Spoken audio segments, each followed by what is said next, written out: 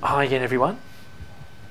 In this video we're going to discuss double integrals in polar coordinates and as we go along you're going to see how to describe regions of integration in polar coordinates, how to set up double integrals in polar coordinates and how to evaluate them.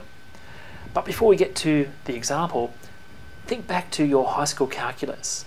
Hopefully you can remember that a change of variables or a substitution can greatly simplify complicated integrals. And this video is going to explore this idea in the more general environment of double integrals. And in particular, we're going to use a specific substitution involving polar coordinates. So let's just refresh our memory on polar coordinates. So if I'm at a point in the xy plane, then this point has a distance to the origin that I'm going to uh, denote by r, and you can see we can form an angle to the positive OX axis, which I'll denote by theta. Now r and theta are known as polar coordinates, and the relationship between the two sets of coordinates is the following. So now we're a little bit refreshed on our polar coordinates. Let's consider the following example. Now, essentially we're going to make a substitution in here, but the difficult thing about this problem is the actual region of integration and describing it in polar coordinates. So let's spend a bit of time discussing this because it's an important part of the problem.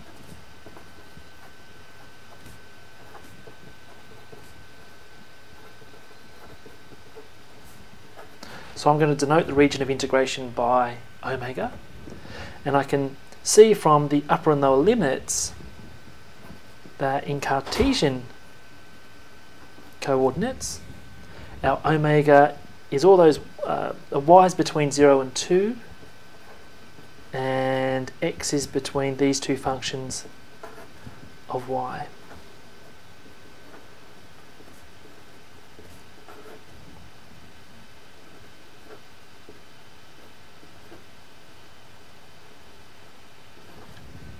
Okay, so the first question is, what does this region actually represent? And it's not clear, maybe you can see it, but it's not immediately obvious what this region geometrically um, represents. So what I'm going to do is actually use, um, um, I guess, different inequalities to show that this region actually represents a disk.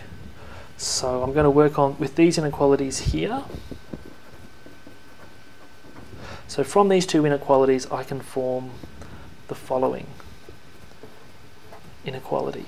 And I'm going to work with this and show that actually geometrically um, this inequality represents a disk. So let's rearrange. And then I'm going to, if I rearrange and then complete the square, in y, I'm going to get the following.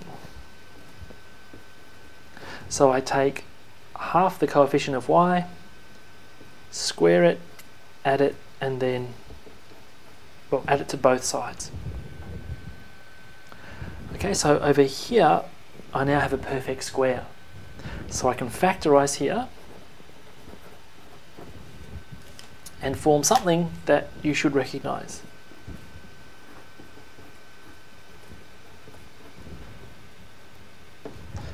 Now, this looks a little bit like the equation for a circle, but remember we have an inequality sign here. So this is actually um, an inequality that represents a disk with radius 1 and center at x equals 0, y equals 1.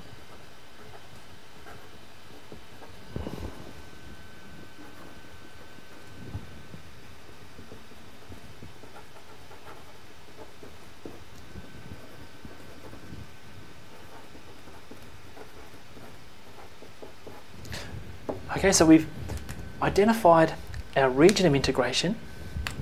I'm going to draw just a quick sketch down here.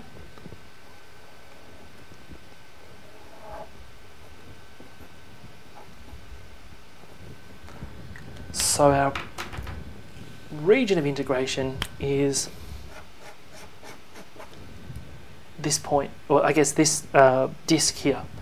Okay, so all the points that lie within this disk. In particular, note that all the points are bounded by this circle when we have equality up here. I'm going to use that to describe the region in terms of polar coordinates. So now we would like to describe our region of integration in polar coordinates r and theta. So let's draw a slightly larger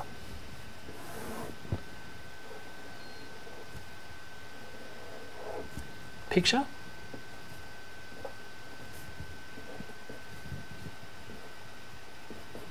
And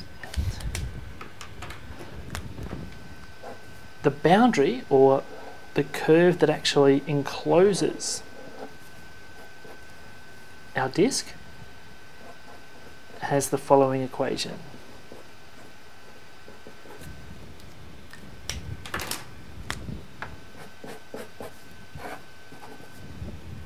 Okay, so the challenge now, can we describe all these points in this disk using polar coordinates? Well, let's do the easy part first. Think of the angle. If I start along the uh, positive OX axis and I do a half turn, then the region will be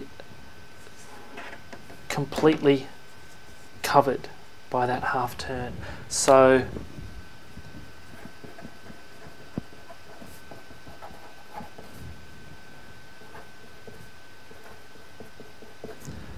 the bounds on theta will be 0 and pi because it's a half turn.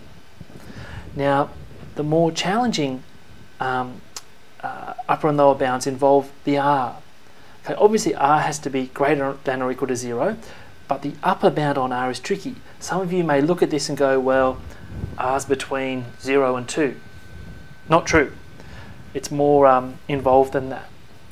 So what I'm going to do is actually describe this circle using polar coordinates. I can see that R never, R is bounded by this circle. So I'm going to use that as my cue to try to describe this in terms of polars.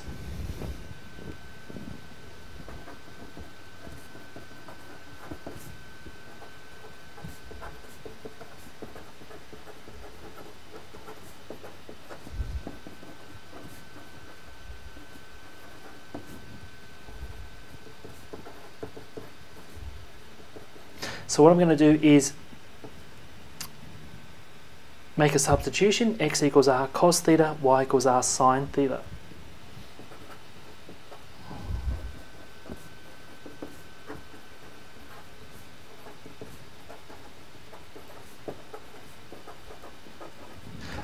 Okay, so just substituting in, I'll get r squared cos squared theta plus r sine theta minus 1 all squared equals 1.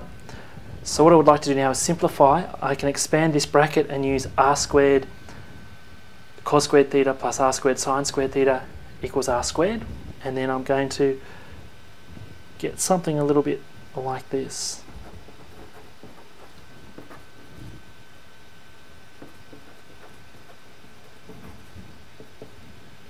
Now when I expand the um, 1 out here, I can cancel those off, so I get a 0 on the right hand side. So factorising,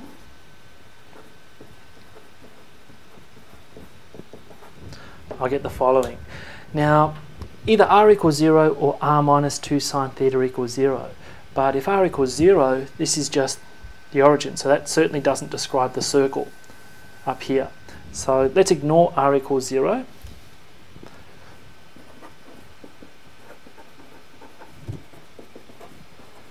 and form r equals 2 sine theta. So this is the polar description of this circle here. Now you can see that r cannot be bigger than, well it can't I guess cross this circle. So r has to be less than or equal to 2 sine theta. So let's put everything together.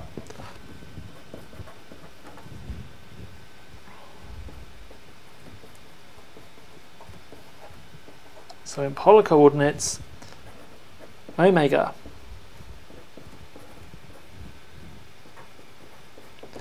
is just, okay, so I can take my bounds here for theta. And r is between 0 and 2 sine theta. Okay, so we spent a lot of time doing that, but we can now set our integral up.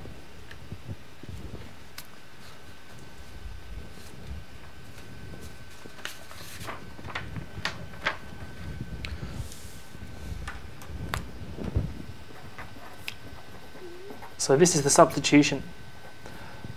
We make the substitutions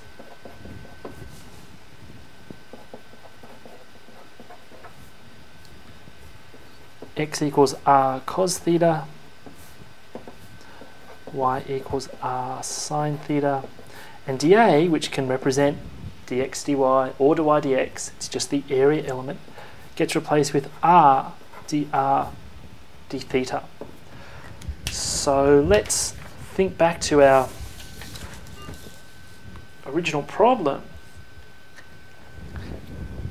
and transform via a substitution. Okay, so we've got our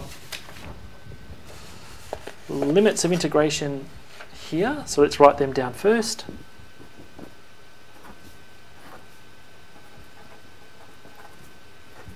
and then we replace x with r cos theta, y with r sine theta.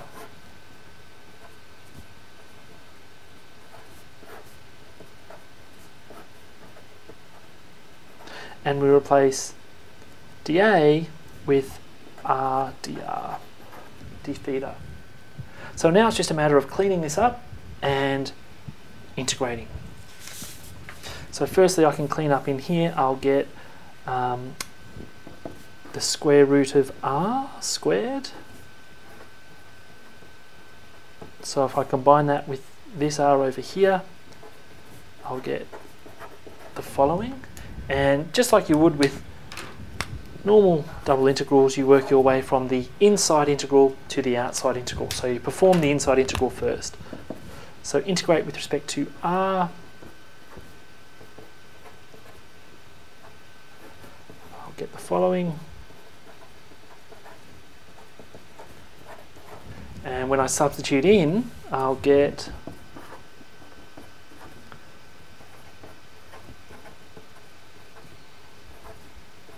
the following. So now I have a single integral and I've got a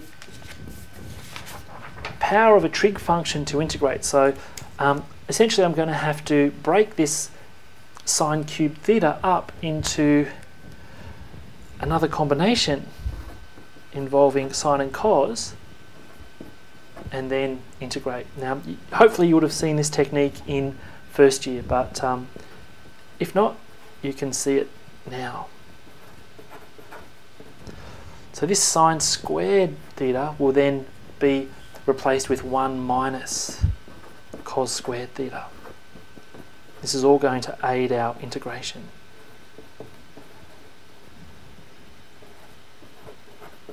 So if I expand that bracket,